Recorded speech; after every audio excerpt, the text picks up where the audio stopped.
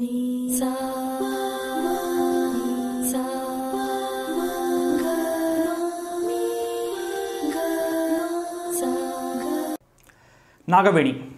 ವಕೀಲ ವಾಸುದೇವನವರ ಮಗಳು.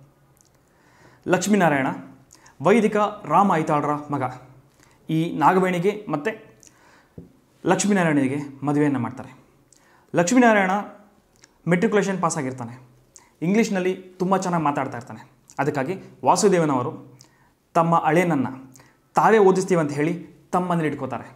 ಆದರೆ ಲಕ್ಷ್ಮೀನಾರಾಯಣಿಗೆ ಮಾವನ ಮನೆ ಒಂದು ಇಕ್ಕಟ್ಟಿನ ಪಂಜರದಂತೆ ಭಾಸವಾಗುತ್ತೆ.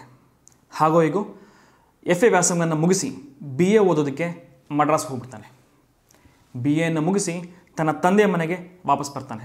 ಆದರೆ ವಾಪಸ್ಸು ಬಂದಾಗ ತನ್ನ ಹೆಂಡತಿ ನಾಗವೇಣಿಯನ್ನು ಆಕೆಯ ತಂದೆ ಮನೆಯಿಂದ ಕರ್ಕೊಂಬಂದಿರೋದಿಲ್ಲ. ಮನೆಯವರ ಯಾವ ಪ್ರಶ್ನೆಗೂ ಉತ್ತರವನ್ನು ಕೊಡೋದಿಲ್ಲ ಕೆಲವು ದಿವಸಗಳ ನಂತರ ವಾಸುದೇವನವರ ಸಹೋದರ ನಾರಾಯಣರಿಂದ ರಾಮ ಐತಾಳರಿಗೆ ಒಂದು ವಿಷಯ ಗೊತ್ತಾಗುತ್ತೆ.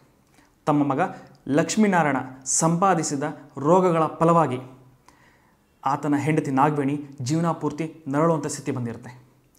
ಗರ್ಭಿಣಿಯಾಗಿದ್ದಂತಹ ನಾಗವೇಣಿಗೆ ಮೂರೇ ತಿಂಗಳಲ್ಲಿ ಆಕೆಯ ಹೊಟ್ಟೆ ನೋವಿನಿಂದಾಗಿ ಮಗು ತೀರ್ಕೊಳ್ಳುತ್ತೆ ಕನಿಷ್ಠ ಆರು ತಿಂಗಳ ಕಾಲ ಆಕೆ ಹೊಟ್ಟೆ ನೋವಿನಿಂದ ನರಳಿರ್ತಾಳೆ. ಸರಿ, ಅನುಭವಿಸಿದ್ದಾಯಿತು. ಇರಲಿ. ಆದರೆ ಎಲ್ಲದಕ್ಕೂ ಗಂಡನೇ ಗತಿ. ಹಾಗಾಗಿ ನಾಗವೇಣಿ ತನ್ನ ತಂದೆಯ ಮನೆಯನ್ನು ಬಿಟ್ಟು ಮಾವನ ಮನೆಗೆ ಬರ್ತಾಳೆ. ತಮ್ಮ ಮಗನಿಂದಾಗಿ ಈ ಪಾಪದ ಹುಡುಗಿ ಅನುಭವಿಸೋ ಥರ ಆಗಿದೆ ಅಂತ ತಿಳಿದು ರಾಮ ಐತಾಳರು ಏನು ಮಾಡ್ತಾರೆ? ತಮ್ಮ ಆಸ್ತಿಯನ್ನೆಲ್ಲ ತಮ್ಮ ಸೊಸೆ ಹೆಸರಿಗೆ ಬರೆದು ಬಿಡ್ತಾರೆ ಇದರಿಂದಾಗಿ ಕೋಪಗೊಂಡಂಥ ಲಕ್ಷ್ಮೀನಾರಾಯಣ ತಮ್ಮ ತನ್ನ ತಂದೆಯ ವೈರ್ಯ ಜೊತೆಗೆ ಸ್ನೇಹವನ್ನು ಬೆಳೆಸ್ತಾನೆ. ಹಾಗೋ ಈಗೋ ಒಂದು ಆರು ತಿಂಗಳು ನಾಗವೇಣಿ ಜೊತೆ ಸಂಸಾರ ಮಾಡಿ ಊರು ಬಿಟ್ಟು ಹೋಗ್ಬಿಡ್ತಾನೆ. ಆದರೆ ನಾಗವೇಣಿ ಮತ್ತೊಮ್ಮೆ ಗರ್ಭಿಣಿಯಾಗಿರ್ತಾಳೆ. ಮಗು ಹುಟ್ಟುತ್ತೆ. ಆ ಮಗುವಿನ ನಗುವನ್ನು ನೋಡಿಕೊಂಡು ತನ್ನೆಲ್ಲ ಕಷ್ಟಗಳನ್ನ ಮರಿಬೇಕು ಅಂತ ಅಂದ್ಕೊಂಡಿರ್ತಾಳೆ ಆದರೆ ದೇವರ ಎಣಿಕೆನೇ ಬೇರೆ ಆಗಿರುತ್ತೆ. ಮಗು ಹುಟ್ಟಿ ಆರೇ ತಿಂಗಳಿಗೆ ಒಂದು ರೋಗಕ್ಕೆ ತುತ್ತಾಗಿ ತೀರ್ಕೊಂಡ್ಬಿಡುತ್ತೆ. ತಮ್ಮ ಸೊಸೆಯ ಕಷ್ಟಗಳನ್ನ ನೋಡೋಕ್ಕಾಗಲಾರದೆ ರಾಮ ಐತಾಳರು ಮತ್ತು ಅವರ ಮೊದಲನೇ ಹೆಂಡತಿ ಪಾರ್ವತಿ ತೀರ್ಕೊಂಡ್ಬಿಡ್ತಾರೆ ಈ ಸಮಯದಲ್ಲಿ ನಾಗವೇಣಿಗೆ ಜೊತೆಯಾಗೋದು ರಾಮ ಐತಾಳರ ತಂಗಿ ಸರಸ್ವತಿ ಮತ್ತು ರಾಮ ಐತಾಳರ ಮತ್ತೊಬ್ಬ ಹೆಂಡತಿ ಸತ್ಯಭಾಮಿ. ಸಂಪಾದಿಸಿದ ಉದ್ಯೋಗವನ್ನು ಸರಿಯಾಗಿ ಮಾಡಲಾರದೆ ಅದನ್ನು ಬಿಟ್ಟು ದುಡಿದ ದುಡ್ಡನ್ನೆಲ್ಲ ಕಾಮದಂದೆಗೆ ಉಪಯೋಗಿಸಿ ತಿನ್ನಕ್ಕೂ ಗತಿ ಇಲ್ಲದಂಥ ಸಂದರ್ಭ ಬಂದಾಗ ಲಕ್ಷ್ಮೀನಾರಾಯಣ ಊರಿಗೆ ವಾಪಸ್ ಬರ್ತಾನೆ. ಈ ಸಂದರ್ಭದಲ್ಲಿ ಆತನ ಹೆಂಡತಿ ನಾಗವೇಣಿ ಆತನನ್ನು ಲಕ್ಷ್ಮೀನಾರಾಯಣನ ನಂಬುತ್ತಾಳೆ. ಲಕ್ಷ್ಮೀನಾರಾಯಣನನ್ನು ಬದಲಾಯಿಸ್ತಾಳೆ. ಲಕ್ಷ್ಮೀನಾರಾಯಣ ತನ್ನ ಕುಟುಂಬದ, ತನ್ನ ಸಂಸಾರದ ಎಲ್ಲ ಜವಾಬ್ದಾರಿಗಳನ್ನ ಹೊರತಾನೆ. ತನ್ನ ಹೆಂಡತಿಯನ್ನು, ತನ್ನ ಕುಟುಂಬವನ್ನು ತುಂಬ ಚೆನ್ನಾಗಿ ಪ್ರೀತಿಸ್ತಾನೆ. ನಾಗವೇಣಿ ಮತ್ತೊಮ್ಮೆ ಗರ್ಭಿಣಿ ಆಗ್ತಾಳೆ.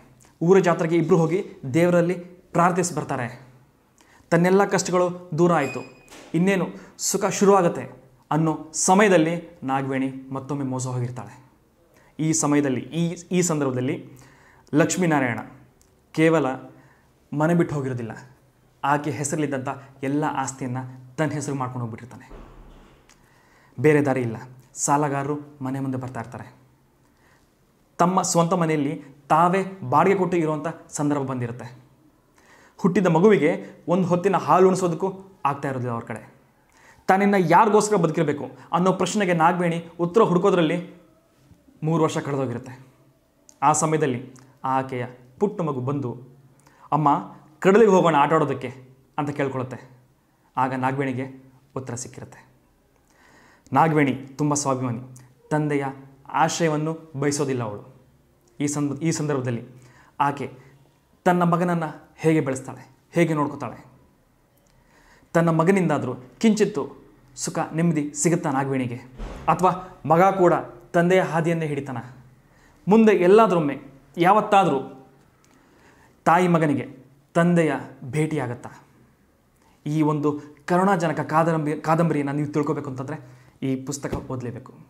ಅದೇ ಡಾಕ್ಟರ್ ಶಿವರಾಮ ಕಾರಂತರು ಬರೆದಿರುವಂತಹ ಕಾದಂಬರಿ ಮರಳಿ ಮಣ್ಣಿಗೆ.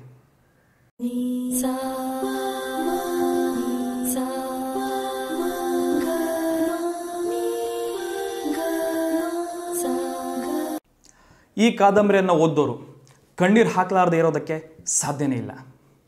ತಮ್ಮ ಕಷ್ಟಗಳೇ ದೊಡ್ಡದು ಅಂತ ಅಂದ್ಕೊಳ್ಳೋರಿಗೆ ಈ ನಾಗಬೇಣಿಯನ್ನು ನೆನೆಸ್ಕೊಂಡ್ರೆ ಸಾಕು.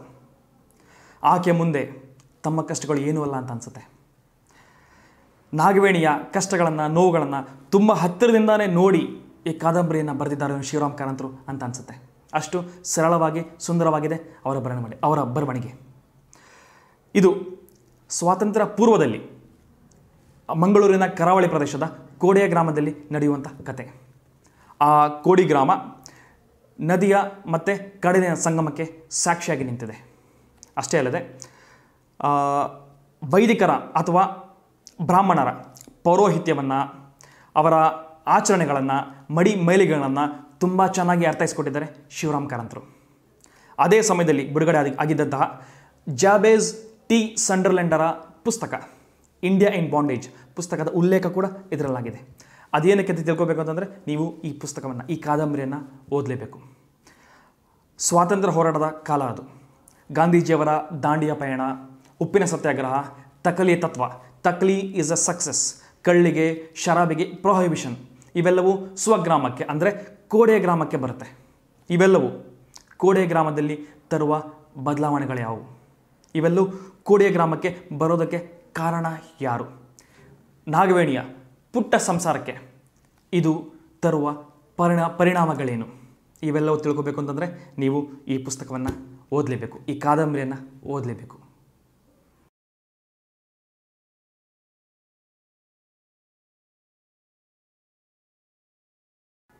ಹತ್ತೊಂಬತ್ತು ನೂರ ನಲವತ್ತೊಂದರಲ್ಲಿ ಮೊದಲನೇ ಬಾರಿಗೆ ಈ ಕಾದಂಬರಿ ಪ್ರಕಟಗೊಳ್ಳುತ್ತೆ. ಸುಮಾರು ಹತ್ತು ಭಾಷೆಗಳಿಗೆ ಈ ಕಾದಂಬರಿ ಅನುವಾದಗೊಂಡಿದೆ. ಇಂಗ್ಲಿಷ್ ಭಾಷೆಗೆ ಅನುವಾದಿಸಿದ ಪದ್ಮಾ ರಾಮಚಂದ್ರ ಶರ್ಮಾರವರಿಗೆ ರಾಜ್ಯ ಸಾಹಿತ್ಯ ಅಕಾಡೆಮಿ ಪ್ರಶಸ್ತಿ ದೊರಕಿದೆ. Doctor K. ಶಿವರಾಮ್ ಕಾರಂತರ ಬಗ್ಗೆ ನಿಮಗೆ ಹೆಚ್ಚು ಹೇಳೋದೇ ಬೇಡ. ತಮ್ಮ ಭೌಮಿಕ ಪ್ರತಿಭೆಯಿಂದಾಗಿ ಕನ್ನಡ ಸಾಹಿತ್ಯವನ್ನು ಶ್ರೀಮಂತಗೊಳಿಸಿದ್ದಾರೆ. ಅವರ ಜನನ ಕುಂದಾಪುರ ತಾಲೂಕಿನಲ್ಲಿ ಅಕ್ಟೋಬರ್ ಹತ್ತು, ಸಾವಿರದ ಒಂಬತ್ನೂರ ಎರಡರಲ್ಲಿ. ಇವರು ಸಾಹಿತಿಗಳಲ್ಲದೆ ವಿಚಾರವಾಣಿ ಪತ್ರಿಕೆಯನ್ನು ನಡೆಸ್ತಾರೆ, ಬಾಲವನ ಸ್ಥಾಪಿಸ್ತಾರೆ, ಚಲನಚಿತ್ರ ನಿರ್ಮಾಣ ಕೂಡ ಮಾಡ್ತಾರೆ. ಯಕ್ಷಗಾನ ಪ್ರಯೋಗಗಳನ್ನ ಮಾಡ್ತಾರೆ. ಸಾವಿರದ ಒಂಬತ್ನೂರ ಐವತ್ತೆಂಟರಲ್ಲಿ ಇವರ ಯಕ್ಷಗಾನ ಬಯಲಾಟಕ್ಕೆ ಕೇಂದ್ರ ಸಾಹಿತ್ಯ ಅಕಾಡೆಮಿ ಪ್ರಶಸ್ತಿ ಮತ್ತು ಸ್ವೀಡನ್ ಪ್ರಶಸ್ತಿ ದೊರಕಿದೆ. ಮತ್ತು ಬಹ ಬಹಳ ಮುಖ್ಯವಾಗಿ ಇವರು ಕನ್ನಡಕ್ಕೆ ಜ್ಞಾನಪೀಠ ಪ್ರಶಸ್ತಿ ತಂದುಕೊಟ್ಟ ಮೂರನೇ ಸಾಹಿತಿಗಳು. ಇವರ ಮೂಕಜ್ಜಿಯ ಕನಸುಗಳ ಕೃತಿಗೆ ಕನ್ನಡಕ್ಕೆ ಜ್ಞಾನಪೀಠ ಪ್ರಶಸ್ತಿ ದೊರಕಿಸಿಕೊಟ್ಟಿದ್ದಾರೆ. ತಮ್ಮ ಆದರ್ಶ ಆದರ್ಶ ವ್ಯಕ್ತಿತ್ವದಿಂದ ಕನ್ನಡದಲ್ಲಿ ಅಪೂರ್ವ ಸಾಹಿತಿ ಆಗಿದ್ದಂಥ ಡಾಕ್ಟರ್ ಕೆ ಶಿವರಾಮ್ ಕಾರಂತರ ಮರಣ. ಡಿಸೆಂಬರ್ ಒಂಬತ್ತು ಹತ್ತೊಂಬತ್ತು ನೂರ ತೊಂಬತ್ತೇಳರಲ್ಲಿ. ಸ್ನೇಹಿತರೆ, ನನ್ನ ವಾಹಿನಿ ಸಾಹಿತ್ಯ ಮಂಥನದ ಮುಖಾಂತರ ನಾನು ಡಾಕ್ಟರ್ ಕೆ ಶಿವರಾಮ್ ಕಾರಂತರಿಗೆ ನಮನಗಳನ್ನ ಸಲ್ಲಿಸ್ತಾ ಇದ್ದೀನಿ. ಸ್ನೇಹಿತರೆ, ಮತ್ತೊಮ್ಮೆ ನಾನು ನಿಮ್ಮ ಮುಂದೆ ಬರ್ತೀನಿ. ಮತ್ತೊಂದು ಪುಸ್ತಕ ಓದಿದ ನಂತರ.